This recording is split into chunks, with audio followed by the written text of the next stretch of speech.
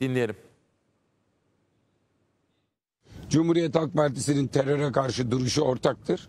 Ancak iktidar partisi bu konuda yapmış olduğu dezenformasyonu provokasyona çevirmiştir. Partinin sözcüsü, sözcüleri tarafından söylenen sözler ortadadır.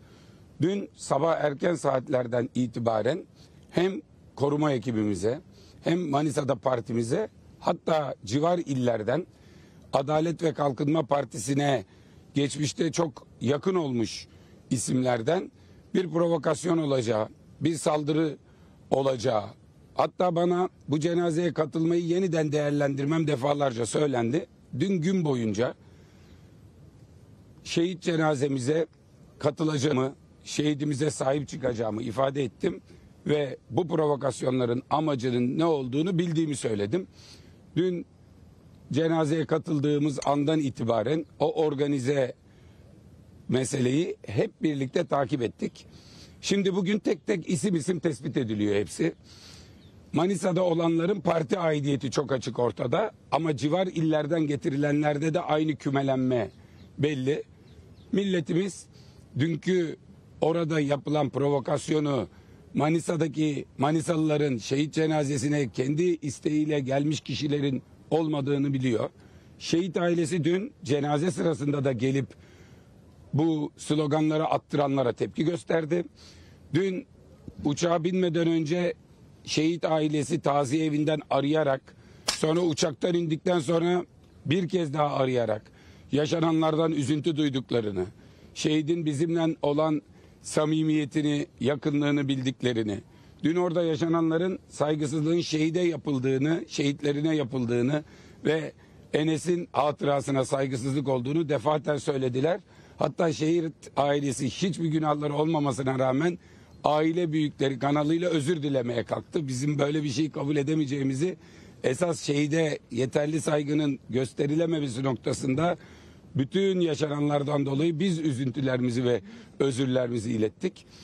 Milletimiz her şeyi biliyor ve bundan sonra da istedikleri kadar provokasyon yapsınlar, istedikleri kadar bu tip tertipler içine girsinler. Cumhuriyet Halk Partisi doğru bildiğini yapacak.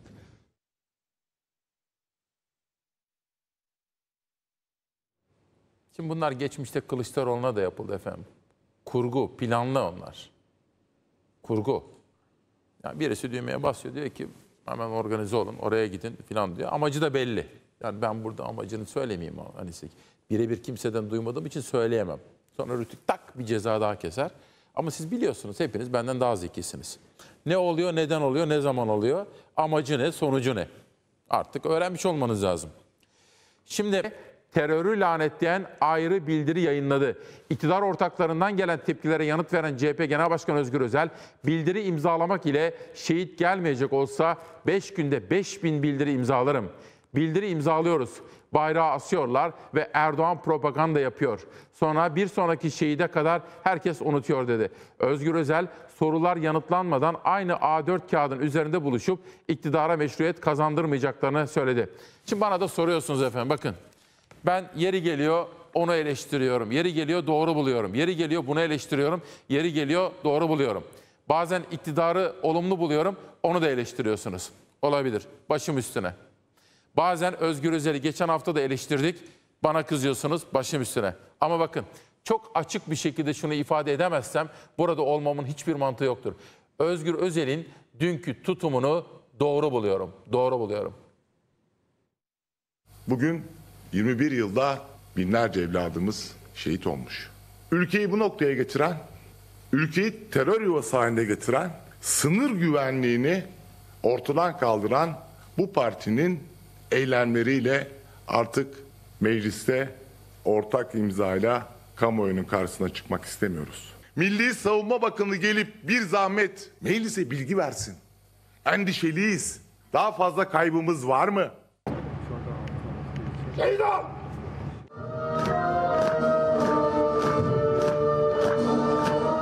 Kuzey Irak'tan 24 saatte 12 şehit haberi geldi. Türkiye şehitleri ağlarken siyasette ülkeyi kahreden 24 saatte neler yaşandığına dair tartışmalar gündemde. CHP Genel Başkanı Özgür Özel, Milli Savunma Bakanlığı'nın meclise acil bilgilendirmesi gerektiğini vurguladı. Bilgilendirme yapılmadan, sorularımıza yanıt almadan hiçbir bildiriye imza atmayacağız dedi. Mecliste de ortak bildiri tartışması yaşandı. Teröre karşı ortak bildiri teklifini İyi Parti getirdi. Türkiye Büyük Millet Meclisi'nden de ortak bir sesin çıkması iktiza eder. Bu nedenle TBMM'nin hiçbir zaman kaybetmeden derhal bir kapalı oturum yapması ve Milli Savunma Bakanı'nın Gazi Meclis'e gelerek milletvekillerini bilgilendirmesi zorunludur. 12 vatan evladımızı kaybetmiş bulunmaktayız. Milletimizin başı sağ olsun. Ortak bildiriye İyi Parti, AK Parti, MHP ve Saadet Partisi imza attı. DEM Parti ise imzalamadı. Ve bu meseleyi kökten çözmek için her türlü sorumluluğu almaya hazır olduğumuzu, bedel ödemeye hazır olduğumuzu ifade etmek istiyorum. genel görüşmeden ortak bir komisyon kurulmasına kadar her türlü öneride varız. CHP ise 12 askerin şehit düştüğü saldırıyla ilgili meclise bilgi verilmemesine ve AK Parti'nin tavrına tepki göstererek ortak bildiriye imza atmadı. Teröre karşı kendi bildirisini yayınladı. Bildiride terörün hedeflerine ulaşmasına asla müsaade etmeyeceğiz. Türkiye'nin bağımsızlığı ve bütünlüğü için mücadelemizi kararlılıkla sürdüreceğiz. Bunu yaparken de sorumluların arkasına dizilmeyeceğiz. Terörü lanetliyoruz denildi. Ama 21 yılda ülkeyi bu hale getirenler, askerimiz şehit edilirken Rusya'nın kapısında, faillerinin kapısında bekleyenler artık ortak imza konusunda bizden hiçbir şey beklemesin. Milli Savunma Bakanı gelip bir zahmet meclise bilgi versin. Endişeliyiz. Daha fazla kaybımız var mı? Nasıl bu insanlar bu üste sızabiliyor bu teröristler? İnsan demiyorum bu yaratıklar. Nasıl 12 tane askerimizi öldürebiliyor? Bunu şehit edebiliyor. Bunu duymak istiyoruz. Bunu açıklamasını istiyoruz. Hiç kimse bu ülkedeki şehitleri terör meselesini seçimler yaklaşırken bir algı operasyonu haline getirmesin. Hiç kimse AKP'nin kirli siyasetine, yanlışlarına 21 yıldır ülkeyi getirdiği noktaya ortak imza atmak zorunda değil. Bu vatan, bu bayrak, bu şehitler hepimizin. Öte yandan CHP lideri Özgür Özel, şehit Enes Budak'la 2020 yılında Manisa Meydanı'nda çekilmiş fotoğrafı paylaştı. Yan yana fotoğrafımızı görünce bir kez daha kahroldum dedi. Özel, şehit piyade teğmen Ramazan Günay'ın İzmir Bucak'taki aile evini ziyaret etti. Taziye dileklerini iletti.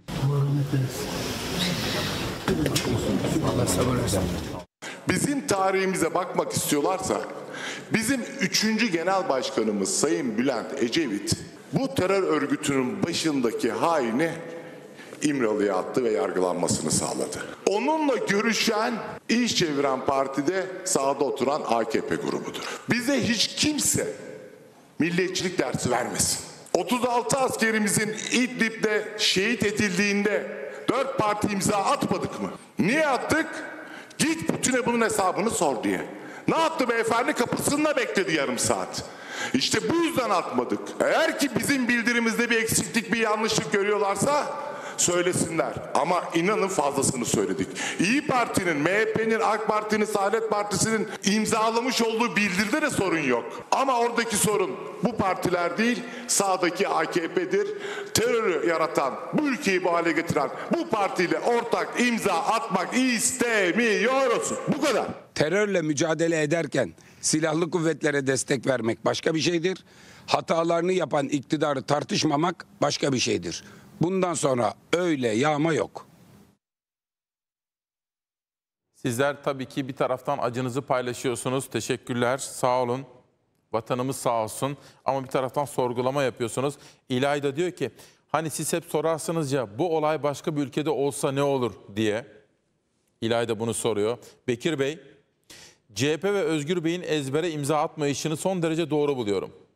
İktidar devletimizi sadece kendilerinden ibaret sanıyor. Halkı ve muhalefeti hiç yerine koyuyorlar.